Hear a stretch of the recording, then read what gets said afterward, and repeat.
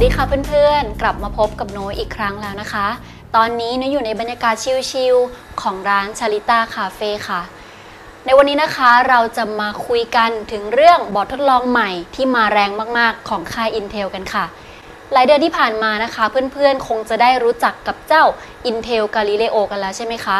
เจ้า Intel Galileo เนี่ยนะคะ เป็นบอร์ด controller แรก ๆ เลยของ Intel ค่ะ ที่สามารถใช้งานร่วมกับ IDE ของ Arduino ได้ค่ะ แล้วก็ยัง run Linux ด้วยนะคะ เป็นบอร์ดที่ใช้กันอย่างแพร่หลายมากนะคะ ในหมู่ maker ค่ะ แต่มาคราวนี้นะคะ บริษัท Intel ได้ให้กำเนิดบอร์ดน้องใหม่ค่ะ นั่นก็คือ Intel Galileo Gen 2 ค่ะ ซึ่งบอร์ด Galileo ในเวอร์ชันนี้นะคะ ก็จะมีฟีเจอร์ที่เพิ่มขึ้นมาจากบอร์ดในเวอร์ชันแรกค่ะ ส่วนที่เพิ่มเข้ามานะคะก็คือมี power regulator ค่ะ จากในเวอร์ชั่นที่แล้วนะคะ เราจะต้องจ่ายไฟเลี้ยงที่ 5 โวลต์เพียงอย่างเดียวค่ะ แต่ในเวอร์ชั่นใหม่นี้นะคะ เราสามารถจ่ายไฟเลี้ยงได้ตั้งแต่ 7 โวลต์ไปจนถึง 15 โวลต์ค่ะ และภายในบอร์ดนะคะ ก็จะ regulate ไฟให้เป็น 5 โวลต์และ 3.3 โวลต์เองค่ะ แล้วถัดมานะคะก็ได้เพิ่มในส่วนของขา GPIO ค่ะ จากเวอร์ชันที่แล้วนะคะ ก็จะมีขาดิจิตอลแค่ 14 ขาค่ะ ในเวอร์ชันนี้เพิ่มเป็น 20 ขา เพื่อรองรับการใช้งานที่ซับซ้อนมากขึ้นค่ะ และในส่วนของ Audio Jack ในเวอร์ชันที่แล้วนะคะ ที่ทำหน้าที่เป็น TX-RX เนี่ยก็ถูกเอาออกค่ะ แล้วก็ถูกเปลี่ยนเป็น FTDI 6 ขาค่ะ เพื่อออรองรับการเขียนโปรแกรมได้อีกหนึ่งช่องทางค่ะ และในส่วนสุดท้ายนะคะ ก็มีการเพิ่มตำแหน่งของการติดตั้ง PoE Module ค่ะสำหรับการจ่ายไฟเลี้ยงให้บอร์ดนะคะ ผ่านทางสาย Ethernet ค่ะส่วนอีกบอร์ดหนึ่งที่นุ้ยจะแนะนำนะคะก็คือบอร์ด Intel Edison ค่ะ บอร์ด Intel Edison เนี่ยนะคะ ก็เป็นบอร์ด controller จาก Intel เหมือนกันค่ะ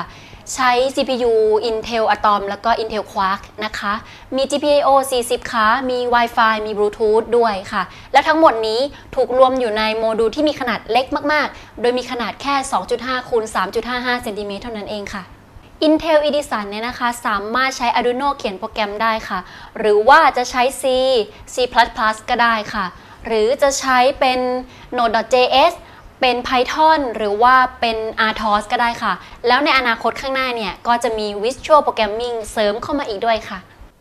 ในการใช้งานบอร์ด Intel Edison เนี่ยนะคะ เราจะต้องต่ออุปกรณ์เพิ่ม ซึ่งอุปกรณ์เหล่านี้เนี่ย จะช่วย support การทำงานของ Intel Edison ค่ะ ซึ่งก็มีดังต่อไปนี้นะคะ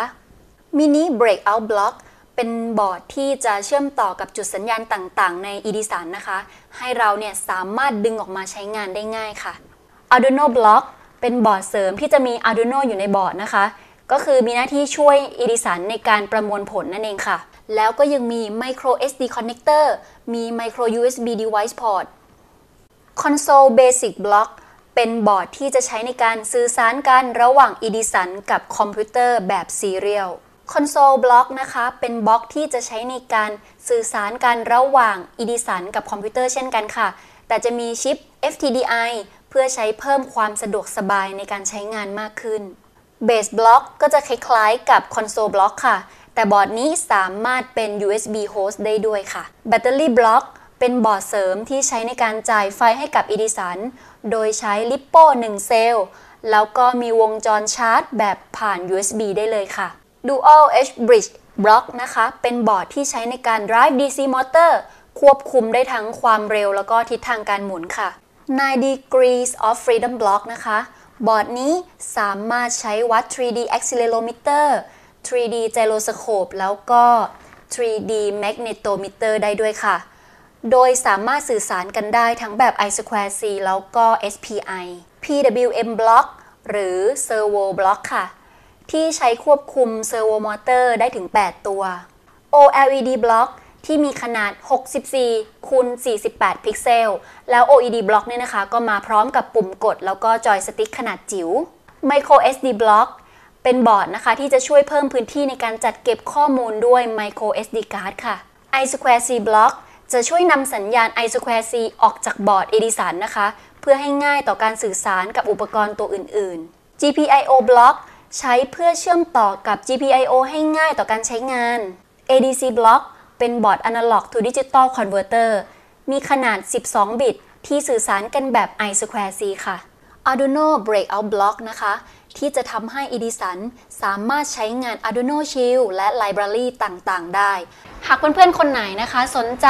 ก็เข้ามาศึกษาข้อมูลเพิ่มเติมได้ที่เว็บไซต์ Gravitech ไทยของเราค่ะ หรือว่าจะคลิกลิงก์ที่อยู่ด้านล่างนี้ก็ได้ค่ะ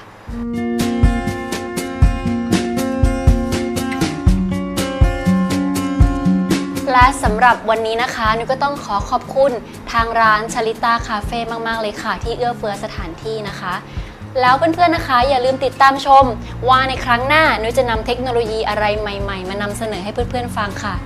เพื่อนๆนะคะ สามารถร่วมพูดคุยกับนุ้ยกับทีมงาน Gravitech ค่ะ จะแนะนำหรือติชมเข้ามาก็ได้นะคะ ผ่านทางเว็บบอร์ดของเว็บไซต์เรา หรือจะพิมพ์เข้ามาที่ Facebook ค่ะ และอย่าลืมนะคะ ติดตามชมคลิปอื่น ๆ ของ Gravitech ไทยค่ะ ได้ทาง YouTube Channel Gravitech ไทยของเราค่ะสำหรับวันนี้ไม่ต้องขอตัวลาไปก่อนค่ะ แล้วพบกันใหม่ค่ะ บ๊ายบายค่ะ